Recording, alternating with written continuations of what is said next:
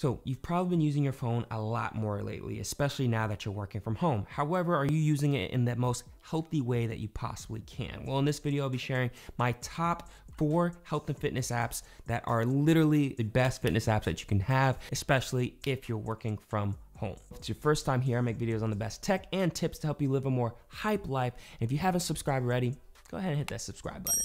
So the first app is the Nike Training app. This app is made by Nike and I love this app. One of the specific reasons why is because of the fact that you can basically customize your workout. Not only can you choose what muscle group, whether it's upper body, lower body, core, butt, whatever it is that you want to focus on, you could choose it. You can also base it off of your time availability. So if you think about it, if you only have 20 minutes in between like a meeting and you want to get something in, you can actually do that and choose 20 minutes. And then lastly, it goes by the amount of equipment that you have. So you can either do body weight and no equipment, lightweight, or you have a full fledged gym. The second thing I love is that you actually have a person showing you how to do the exercises. It's not live, but it's a real person who's showing you correct form. And it's like really, really cool that they do that throughout the whole entire workout. And the last thing I love is actually the premium feature. I don't use it, I've done the trial before, but it's basically a six to eight week program that you can choose whether it's like using improving your flexibility, your strength, um, getting a little bit more toned. But you can go do a six to eight week program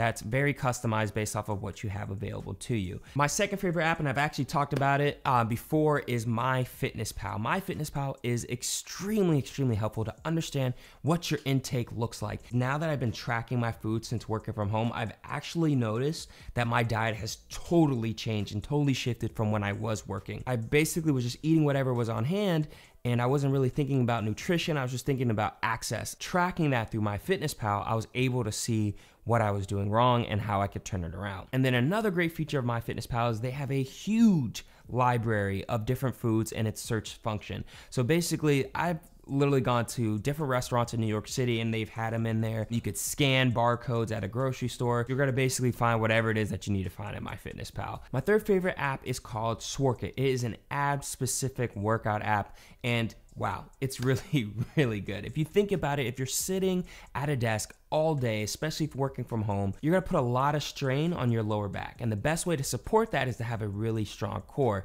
And this app, they separate the workouts between ab specific. They also have something that's more core focused, which is something I actually recommend to a lot of you. And then finally, you also have the absolute abs, which basically covers both, which is doing core as well as abs. And that's the one that I typically do the most. You can basically set it to the specific time that you want to. So whether it's like five minutes or eight minutes or 10 minutes, what I like to do is I started from like four minutes and then each week I'd progress it by about 30 seconds to a minute. And then now I'm around like nine minutes, 10 minutes. But it's just super cool how you could do that and you can actually see how you're progressing. My fourth favorite fitness app and one that I think is very severely underrated is my auto sleep or sleep watch app. It's super important to understand how you are sleeping each night because that leads to the amount of energy you have the next day as well as how productive you are the next day. So, one of the main things I love about this app is the fact that you can actually see the different levels of sleep, whether you're in deep sleep, light sleep, if you had interrupted sleep, were you restless?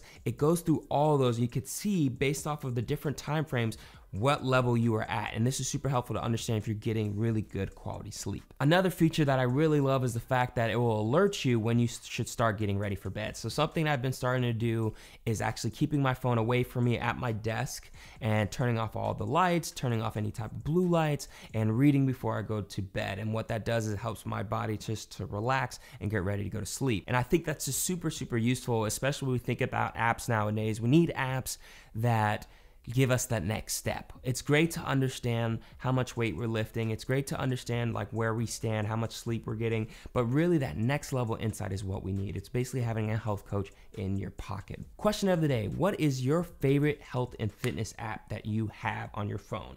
Let me know in the comments below because you never know, you might know something that somebody doesn't or something that I didn't clarify. So please put in the comments below. I hope this video was extremely helpful. If it was, go ahead, and pound that like button, subscribe if you haven't already, and I'll catch you later. You already know. Embrace the hype. Woo! Ab work. It's an it's an ab workout app. Ab workout app. My fourth and final fitness health app. Fourth final fitness. Fourth final fitness. Say that five times. That fourth final fitness. Fourth final fitness. Fourth final fitness.